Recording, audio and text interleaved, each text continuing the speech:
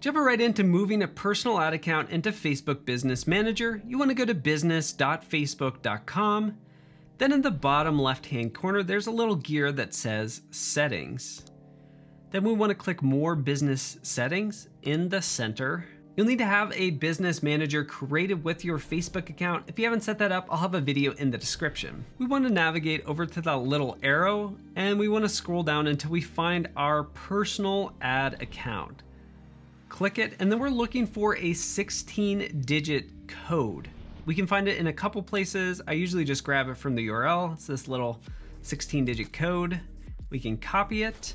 You can also click this arrow at the top and you can copy it from there and navigate back to business.facebook.com. We'll go back to where we were, settings, more business settings.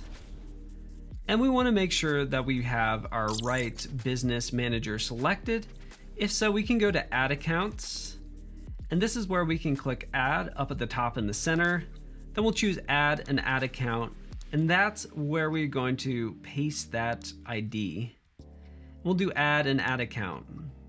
If both have the same email, it should approve it right away. Otherwise, you'll get an email and you'll need to accept the invite is now in your business manager. You can add people and partners, but I wanna know if your ads are tracking properly, because if not, this is costing you money. But luckily for you, I put together a full training on the six key things you have to do in order for things to track properly. If you're running any kind of ads, you wanna check out that training right now.